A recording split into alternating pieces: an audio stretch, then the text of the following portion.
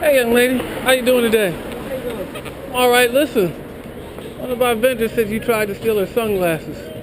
Oh, One of our vendors said that you tried to steal their sunglasses. but I did steal them. Yeah. I So you looking say, well, needless to say, we don't want you, What's a try? we don't want you back in there. Huh? We don't want you back in there, so you won't be able to try tomorrow. Because I did steal? No, because they said you tried to steal. I And ain't it- seen no sunglasses today. It happened today, and their word is better than yours. So, you know, this, this, we appreciate Okay. if you stay out. I didn't steal them though. But you tried to steal them. I ain't trying. How you? How, what, what, what's a try? I don't know. That's what she said. So, You a damn lie.